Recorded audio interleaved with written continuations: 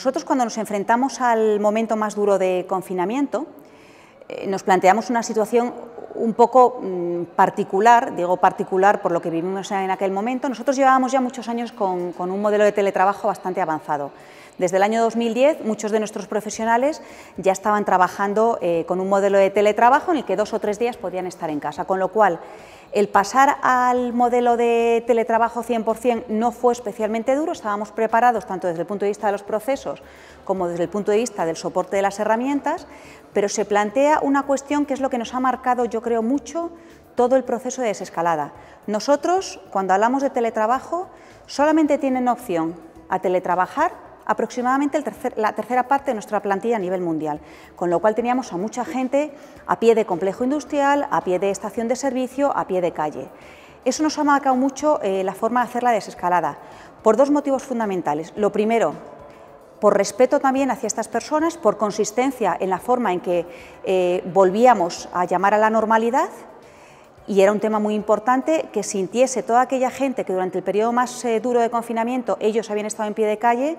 que nosotros sí que buscábamos un modelo en la que tratábamos lo antes posible de volver a la normalidad. Y luego el segundo punto, y es una cosa de la que nos hemos alegrado mucho al cabo de los meses, el haber traído muy pronto a la gente de vuelta a las oficinas, que nosotros les trajimos de vuelta en el mes de junio, cuando terminó el estado de alarma, nos ha facilitado mucho la integración normal de los equipos otra vez en la vuelta a la normalidad. Es una barrera tremenda, cuando la gente deja de venir le cuesta muchísimo trabajo volver otra vez a las oficinas. Empezamos la desescalada y empezamos la desescalada desde luego con muchísima prudencia, tremenda prudencia. Medidas de seguridad absolutamente eh, extremadas.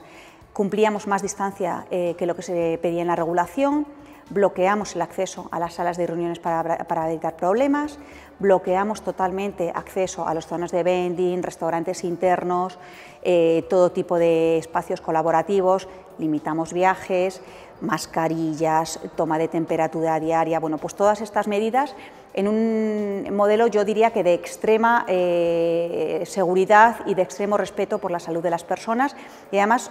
con la particularidad que nosotros tenemos, somos un entorno muy sindicalizado y siempre muy de la mano de la parte social para ir avanzando y no dar ningún paso que pudiera eh, generar cierta incertidumbre, que pudiera generar cierta sensación de riesgo.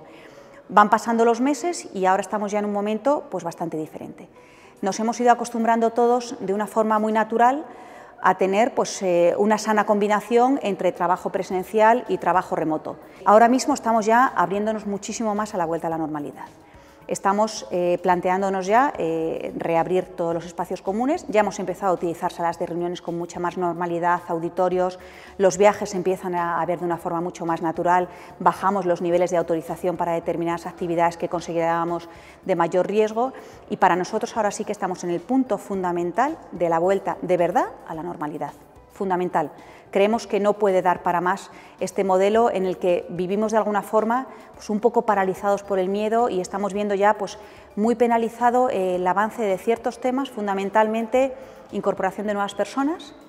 desarrollo de nuevos proyectos y todo lo que tiene que ver más con ese ambiente natural de creatividad, de, puesta en común, de, de, coordinación entre los equipos que se produce cuando hay parte de trabajo presencial.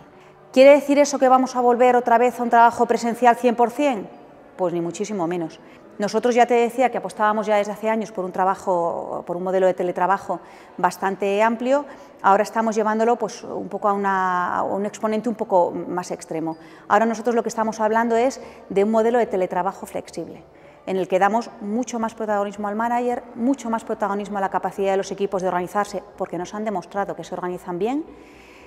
primamos la flexibilidad, primamos un modelo de liderazgo que trabaja mucho más en la confianza y en la determinación de unos objetivos claros y, por supuesto, con un sistema pues, constante de medición, de vuelta a preguntar a los empleados cómo están, vuelta a preguntar a los managers cómo va cubriéndose los objetivos de negocio, para estar constantemente en un sistema de reaprendizaje y adecuación a la nueva realidad y a la nueva forma de trabajo. Y bueno, eh, creo que expertos en cómo nos van a resultar las cosas no somos todavía ninguno, estamos en la más absoluta de las incertidumbres, pero vamos avanzando y yo creo que lo importante es escuchar, medir, reaprender y volver a ajustar la realidad. Fíjate, yo ahora estamos en un punto en el que tenemos que cambiar un poco eh, la mentalidad de todos los que estamos trabajando en la gestión de personas desde un punto de vista de cuidado y respeto a la salud. nos hemos obsesionado, verdaderamente obsesionado, con cubrir absolutamente todos los ámbitos que veíamos de riesgo dentro de lo que era el entorno de la pandemia cosa que no nos pasaba en otros ámbitos de gestión de personas. Asumíamos cierto riesgo en muchas cosas porque el beneficio era mayor y la probabilidad de ocurrencia era menor. Tenemos que volver a ese punto. Tenemos que volver a mirarnos otra vez a nosotros mismos y decir, oye, tenemos que volver a ser capaces de balancear cuánto riesgo asumimos, contra qué beneficio eh, tenemos. Y hoy por hoy las organizaciones necesitan volver a sentir que trabajan en un entorno de normalidad.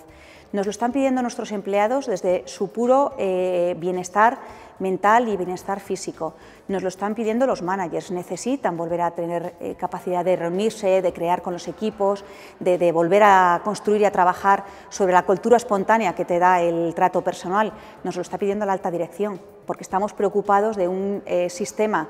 eh, de tan poco trato social, pues no es sostenible a largo plazo. Y luego, ¿qué quieres que te diga? Nuestro entorno más presencial también nos está pidiendo que todos hagamos un esfuerzo por la vuelta a la normalidad, que ellos lo ven así. Con lo cual yo le animo a todo el mundo a que flexibilice medidas, que pondere riesgos y que vaya para adelante, pues oye, volviendo de una forma un poquito más natural a lo que era nuestra forma de actuar antes, con los mejores aprendizajes que hemos tenido durante estos años de durante estos meses de pandemia.